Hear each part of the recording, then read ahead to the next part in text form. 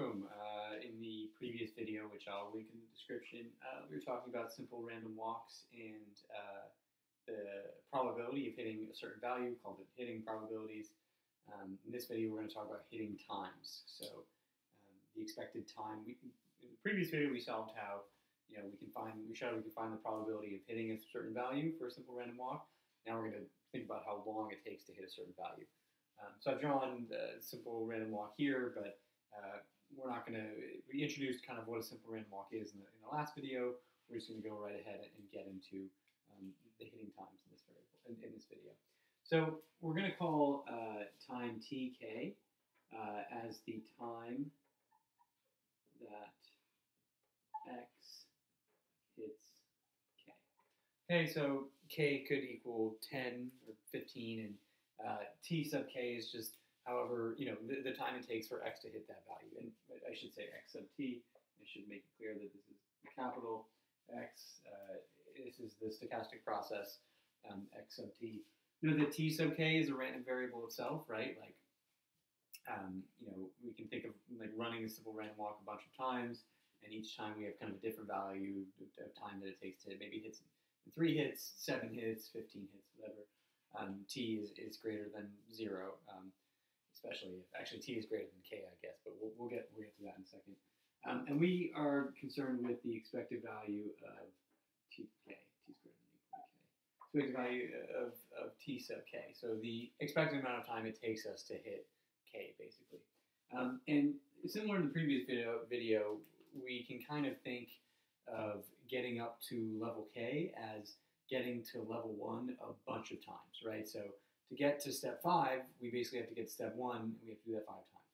So the way we can break out expected value of t to the k is we can just say that's the same as the expected value of, of t1, which is the expected amount of time it takes to get to step one, plus e of t1 plus dot dot dot uh, plus sorry plus e of t1, and I'm, I'm going to have uh, k of these terms, right? Because I get to 1, then I get another one, I get, you know, I get all the way up to, to k, and the, the intervals are independent, so it, it's kind of okay to um, to think about this, and, you know, if I just want to simplify this, it's k e t1, right?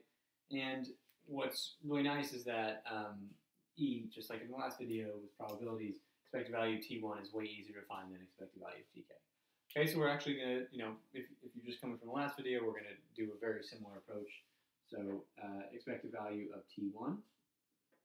We're going to condition on the first step. So first step analysis and say what, you know, based on what happened in the first step, um, uh, we can we can kind of break the world into two pieces, probability weighted by, you know, what those worlds are, and then think of the expected value of, of hitting one based on those two outcomes. So um, it's slightly different. So uh, we're going to condition on the first step, which means we've already taken one step, which means automatically um, we have to put a 1 in here. So we have 1 plus. Because we've already taken the first step, and we're conditioned on that, and um, um, we, we kind of know that's already occurred. So we have probability P, I should put up here, probability P. We have, we have probability P of going up, right, on the first step from 0, right? So probability P. Um, and if we go if we go up on the first step from zero, right, our new expected value of the time it takes to go to step one is just going to be zero because we, you know, we have already reached we've already reached step one. So probability p that our expected wait time is now zero. So that this term just cancels out. And then uh, we have probability q. We you know q is one minus p. I'll just write that for we just kind of use that for shorthand. So we have probability q of going down. Um, so down a step to negative one, and then we have to go um, up two steps to get to get back to one, right? So this now we now have the expected value of t2, right? Where we basically went down a step, and now we have to go up to, to zero and then to one. So we need the expected value of the time it hits to hit the time it takes to hit two.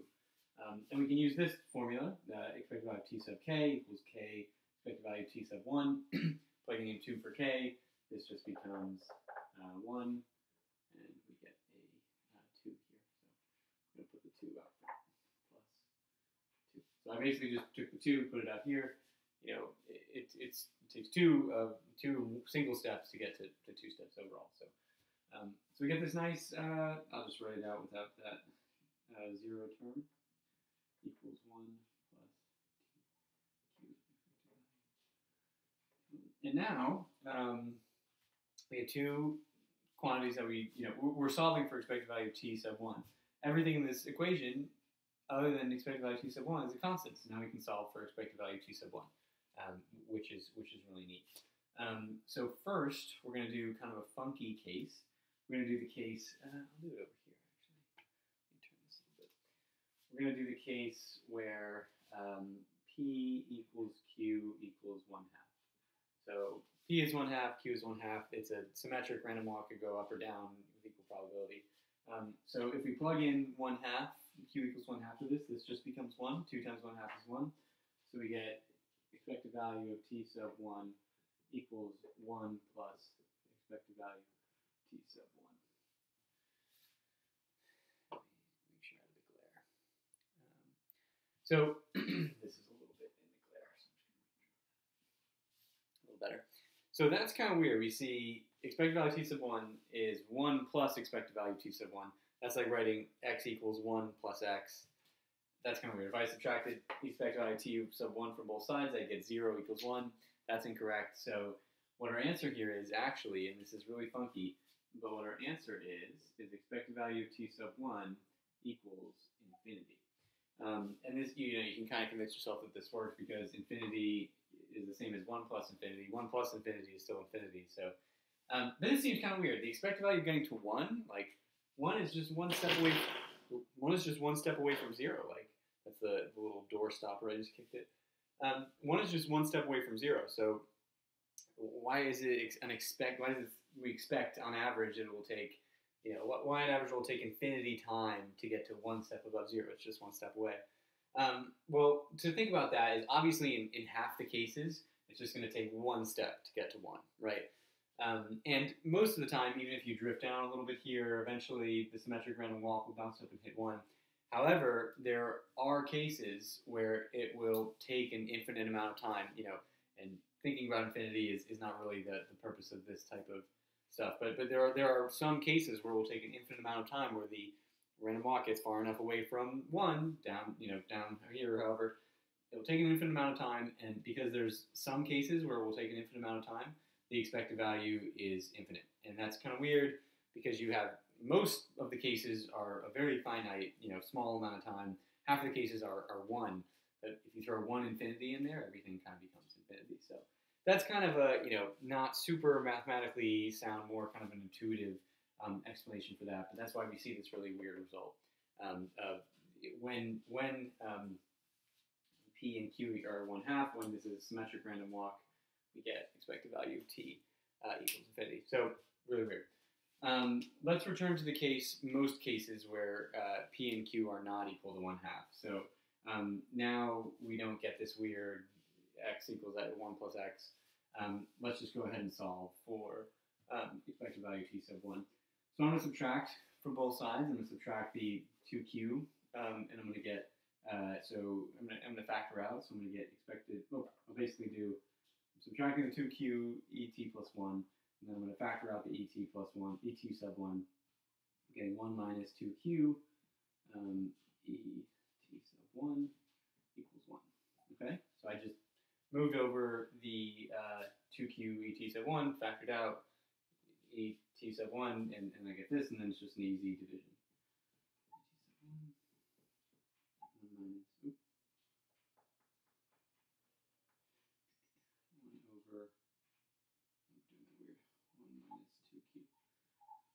And uh, we don't have time in this video to simplify this, but I, I, promise you, if you expand 1 minus 2q, if you plug in 1 minus p, this is like good arithmetic exercise, if you plug in 1 minus p to this, so 1 minus 2 times 1 minus p, you're going to get uh, p minus q. It's going to simplify 1 minus q, p minus q.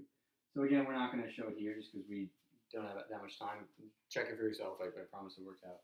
Yeah, 1 over p minus q. So that's pretty cool. We get like we've you know we've solved expected value of t sub one. That's the amount of time we expect it to to hit one. Um, however, uh, maybe the um, kind of sharp-eyed among you have noticed, uh, if p is less than q, this is going to be negative, right? Because we're going to have p minus a greater value, negative. We get a negative expected value. That doesn't really make sense. That doesn't seem to work. Um, and that's so in the case where